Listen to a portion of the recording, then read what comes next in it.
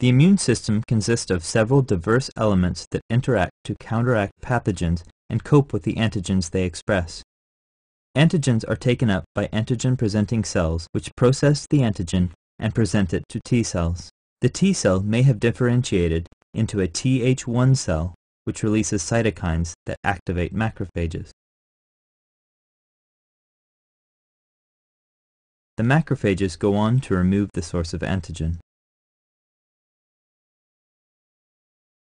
If, however, the T cell has differentiated into a Th2 cell, it activates B cells. These produce more antibody which binds with antigen, leading to its removal.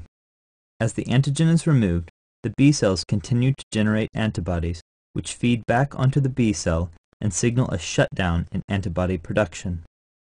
Cross-linking surface antibody and antibody bound to Fc receptors for IgG inhibits further antibody synthesis.